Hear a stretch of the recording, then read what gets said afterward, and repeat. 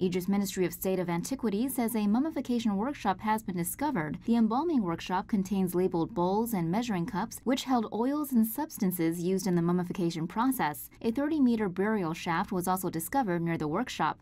Also found were five mummies with their sarcophagi. A mummy with a gilded silver mask with eyes containing calcite, obsidian, and black gemstone was found inside one of the sarcophagi.